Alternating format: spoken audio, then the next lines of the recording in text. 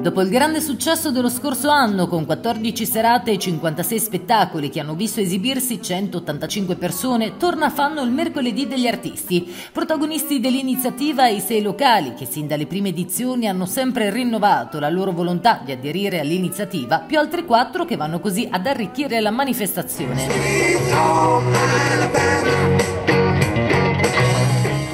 per dare vita a sei palcoscenici che dall'8 giugno fino a settembre offriranno spettacoli musicali di ogni genere. Ciascun locale presenterà un programma che non andrà ad accavallarsi con le esibizioni organizzate dalle attività confinanti. L'assessorato al turismo del comune di Fano continua a sostenere il mercoledì degli artisti e si parte domani. È un progetto fantastico, sappiamo che sarà insomma, una stagione piena di eventi e soprattutto di weekend, ma abbiamo deciso appunto di ampliare l'offerta, di ampliare la vivibilità della città la città vive nel periodo estivo con, eh, nel giovedì con il giovedì dei bambini, ecco il mercoledì abbiamo deciso di dedicarlo agli artisti, ma lo facciamo, devo dire grazie al grande supporto che stanno dando le attività economiche, quindi eh, alcune attività del centro, ma anche della zona mare che insomma eh, portano musica o comunque portano attività artistiche diverse, attività che guardano alla pittura, attività che guardano eh, alla musica e all'arte di genere. Quindi questo mercoledì vivo eh, organizzato con la la collaborazione dell'Orchestra Sinfonica Rossini che coordina un po' l'evento, ne coordina la